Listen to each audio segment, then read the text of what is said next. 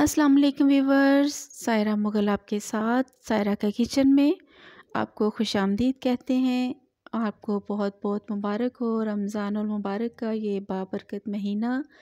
तो किचन में हमने काम करना हो और आगे से किचन साफ़ सुथरा नज़र ना आए और हमने वहाँ पे बर्तनों का ढेर लगाया हो, कलारा डाला हो तो पकाने का मज़ा नहीं आता।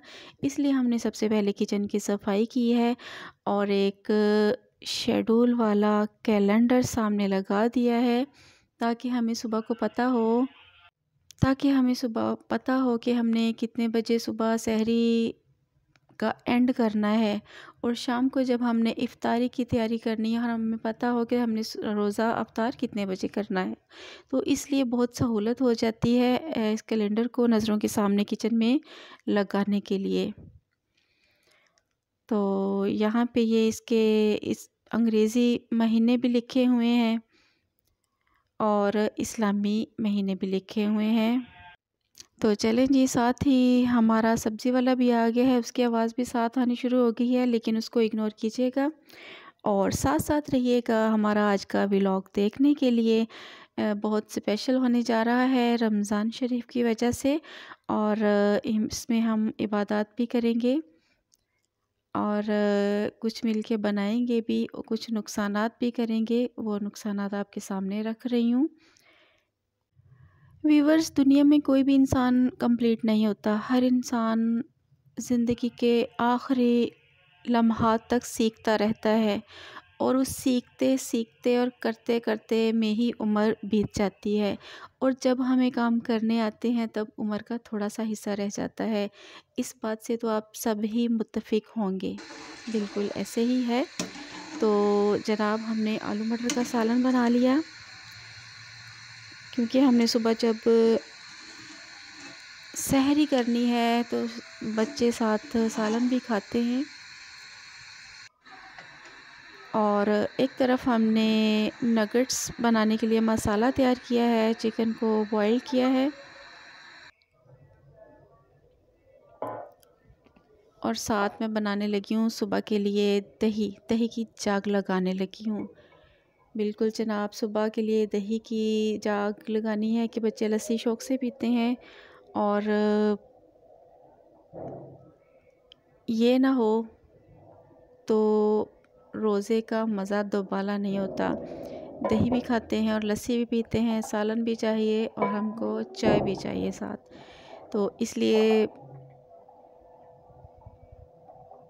दूध को मैंने पहले बॉईल कर लिया था, फिर जब थोड़ा हल्का सा गर्म रह गया, फिर उसको मैंने मज़ीद बॉल में डाल के जिसमें मैंने दही जमाना था, उसको थोड़ा सा फेंटा और फेंटने के बाद फिर मैंने उसको दही की जाग लगाई। मेरा ख्याल है बाहर मेरा कूड़ा लेने वाला आया है तो थोड़ा सा रुकिए मैं उसको कूड़ा दे के आती हूँ। जी व्यूवर्स मैं कूड़ा दे आई हूँ कूड़े वाले को और साथ ही वो पुराने कपड़े तो पांडे लैब पांडे प्लास्टिक थे पांडे वो भी आ, गली में थे लोग फेरी वाले। ज़ाहर है उन्होंने भी अपना काम करना है। तो जनाब हमने दही लगा के उसको ढक दिया है नीचे ट्रे और ऊपर प्लेट दे के। इसको मैंने ऐसी जगह पे रखा है जिसको बार बार छेड़ा ना जाए। और उसके बाद बेटी बना रही थी। तो उसकी कुकिंग मैं देखती रही हूँ साथ साथ क्योंकि वो पहली दफ़ा बना रही थी। बनाए तो मैंने भी पहले कभी नहीं थे। लेकिन उसने नेट से तरीका देखा और कहती मम्मा, ऐसे बनाना है, ऐसे बनाना है, ऐसे बनाना है। ब्रेड ली थी। ब्रेड को उसने पीस किए। और उसको दूध में भिगोया, डिप किया, उसको थोड़ा सा हलाया, जुलाया और बाकी तरीका आपके सामने है। तो बाकी वीडियो आपके सामने, अब देखें हमने क्या किया। और तब तक आप चैनल को सब्सक्राइब करें, वीडियो को लाइक कर दें, बेल आइकन का बटन प्रेस कर दें ताकि नेक्स्ट व्लॉग जब लगे तो सबसे पहले आप तक पहुँच जाए। आप साथ रहते हैं हमारे व्लॉग्स देखते हैं लाइक करते हैं आपकी मोहब्बतों का बहुत बहुत शुक्रिया कि हमारा आप तक यूट्यूब के ज़रिए साथ है और हमारी जो आवाज़ है यूट्यूब के ज़रिए आप तक पहुँचती है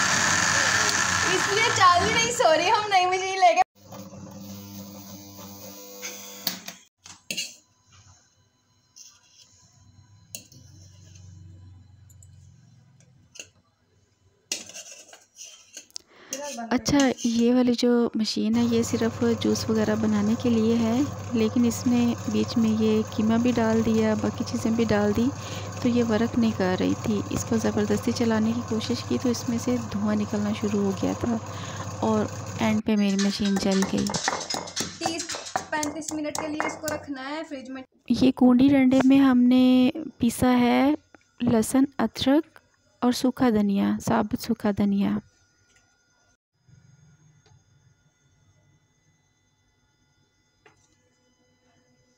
ये इसने मैदा और कॉर्नफ्लोर मिक्स किया है दो दो चम्मच। ये एक प्लेट में अंडा है और एक प्लेट में ब्रेड के ब्रीक ब्रीक पीस कर लिए हैं, जिसको कहते हैं ब्रेड का चूरपुर कर दिया है। उसके बीच में ये बाद में नगट्स को डिप करके अच्छे से फिर अंडा लगा के फिर ये डालेगी फ्राई पैन में, गरम घी में।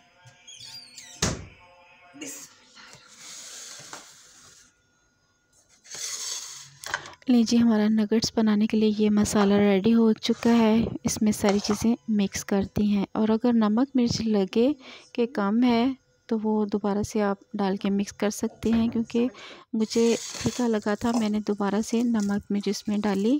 क्योंकि बच्चे हैं, बच्चे अपने हिसाब से करते हैं और हमने बड़ों ने अपने हिसाब से देखना होता है हर चीज़ को। जी वीवर्स आज आप देख रहे हैं एक साइकोलॉजिस्ट किचन में कुकिंग कर रही है और इसका आज पहला एक्सपीरियंस है माँ के साथ किचन में हाथ पटाने का। अदरवाइज़ मैं इसको किचन में नहीं आने देती कि अभी सिर्फ़ अपनी स्टडी से मतलब रखे।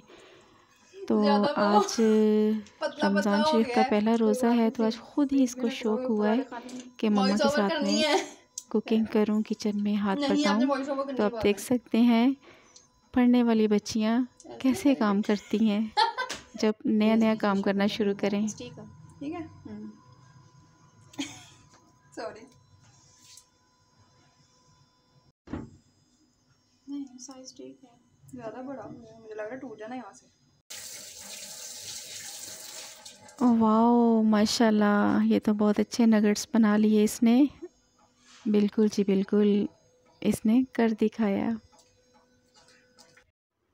जी, हमने किचन का काम समेटा, किचन को साफ़ किया और उसके बाद हमने नमाज़ पढ़ी। नमाज़ के बाद हमने कुरान पाक की तलावत की दोनों माँ बेटी ने और उसके बाद फिर दो घंटे सोने का अहतमाम किया और सुबह को जब शहरी के टाइम उठी तो मैंने सबसे पहला काम नगट्स वाला किया। सबसे पहले एक और अंडा तोड़ा और उसमें नगट्स लगा के उसको फ्राई किए और सहरी बनाई और फिर हमने मिलके सबने सहरी की और माशाल्लाह ये रमज़ान शरीफ की पहली सहरी थी जो बच्चों के साथ हो रही थी।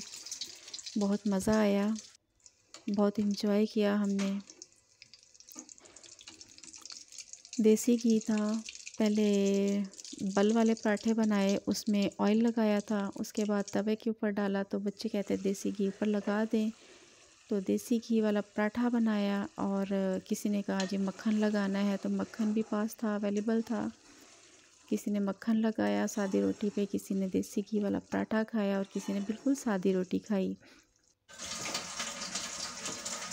और साथ ही एक तरफ़ रखी हुई थी मैंने चाय, उसको हल्की आँच पे पहले रखी रखा फिर बाद में जब उसको उबाले आए तो